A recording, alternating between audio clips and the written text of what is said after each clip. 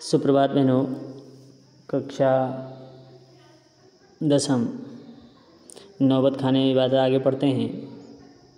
अक्सर कहते हैं, क्या करें मियाँ? ई काशी छोड़कर कहाँ जाएँ? गंगा मैया यहाँ, बाबा विश्वनाथ यहाँ, बालाजी का मंदिर यहाँ यहाँ हमारे ख़ानदान की कई पुश्तों ने सहनाई बजाई है। हमारे नाना तो वहीं बालाजी मंदिर में बड़े प्रतिष्ठित शहनाई वादक रह चुके हैं। अब हम क्या करें? मरते दम तक यह शहनाई न यह शहनाई छूटेगी, न यह काशी। जिस ज़मीन ने हमें तालीम दी, जहाँ से अदब पाई, वे कहाँ और मिलेगी? सहनाई और काशी से बढ़कर कोई जन्नत नहीं है इस धरती पर हमारे लिए। काशी संस्कृति की पाठशाला है। शास्त्रों में आनंद कानन के नाम से प्रतिष्ठित है। काशी में कालाधर, हनुमान व नृत्य विश्वनाथ हैं। काशी में बिस्मिल्ला खां हैं। काशी में हज़ारों साल का इतिहास है, जिसमें पंडित कंठे महाराज हैं, विद्याधारी, विद्याधरी हैं, बड़े रामदास जी हैं मौजुद्दीन खां हैं और इन रसिकों से उपकृत होने वाला अपार जनसमूह है। यह एक अलग काशी है, जिसकी अगर तहजीब है, अपनी बोली है, अपने विशिष्ट लोग हैं, इनके अपने उत्सव हैं, अपना गम है। अपना चेहरा, सहरा अपना बनना, अपना नौहा। आप यहाँ संगीत को, भक्ति से, भक्ति को किसी भी धर्म से, धर्म के कलाकार से, कजरी को, चैती से, विश्वनाथ को, विशालाक्षी से बिस्मिल्ला खां को गंगा द्वार से अलग करके नहीं देख सकते। अक्सर समारोहों एवं उत्सवों में दुनिया कहती है, ये बिस्मिल्लाह खां है। बिस्मिल्लाह खां का मतलब बिस्मिल्लाह खां की सहनाई। सहनाई का तात्पर्य बिस्मिल्लाह खां का हाथ हाथ से आशा इतना भर की बिस्मिल्लाह खां की फूक और फूक और सहनाई की जुदाई आवाज़ का असर हमारे सिर चढ़कर बोलने लगता है। जादुई आवाज़ का असर हमारे सिर बोलने लगता है।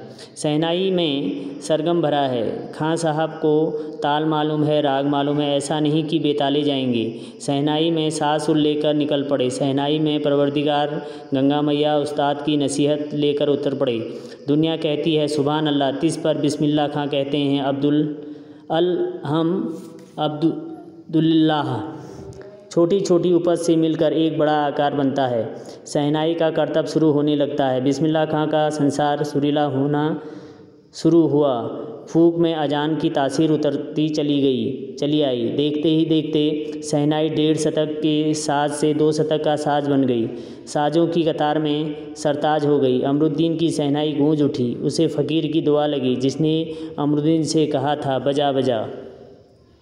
किसी दिन एक शिष्या ने डरते डरते खां साहब को टोका, बाबा, आप यह क्या करते हैं? इतनी प्रतिष्ठा है आपकी। अब तो आपको भारत रत्न भी मिल चुका है। यह फटी तहमद न पहना करें।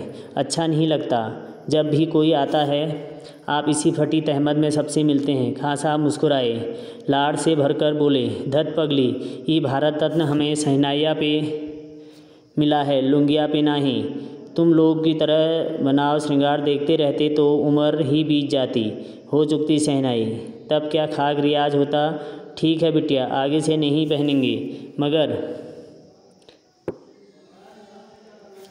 इतना बताए देते हैं कि मालिक से यही दुआ है, फटा सुर न बक्से लुंगिया का क्या है? आज फटी सो कल सी जाएगी। सन 2000 की बात है। पक्का माहौल काशी विश्वनाथ से लगा हुआ यह अधिकतम इलाका से मलाई बर्फ़ बेचने वाले जा चुके हैं। खां साहब को इसकी कमी खलती है। अब देसी घी में वह बात कहाँ और कहाँ वह कचौड़ी जलेबी? खां साहब को बड़ी शिद्दत से कमी खलती है। अब संगतियों के लिए गायकों के मन में कोई आदर नहीं रहा। खां साहब अफसोस जताते हैं। अब घंटों रियाज को कौन पूछता है? हैरान है बिस्मिल्ला खां। कहाँ वह कजली, चैती और अदब का ज़माना? सचमुच हैरान करती है काशी पक्का माहौल से। जैसे मलाई बर्फ़ गायब गया, संगीत, साहित्य और अदब की बहुत सारी परंपराएँ लुप्त हो गई हैं। एक सच्चे सुर साधक और सामाजिक की भांति बिस्मिल्लाह खां साहब को इन सब की कमी खलती है। काशी में जिस तरह बाबा विश्वनाथ और बिस्मिल्लाह खां एक दूसरे के पूरक रहे हैं उसी तरह मुहर्रम, ताजिया और होली अबीर, गुलाल की गंगा जमुनी संस्कृति भी एक दूसरे की पूरक रहे हैं। अभी जल्दी ही बहुत कुछ इतिहास बन चुका है और आगे अभी आगे बहुत कुछ इतिहास बन जाएगा। फिर भी कुछ बचा है जो सिर्फ़ काशी में है। काशी आज भी संगीत के स्वर पर जागती है, उसी के थापों पर सोती है।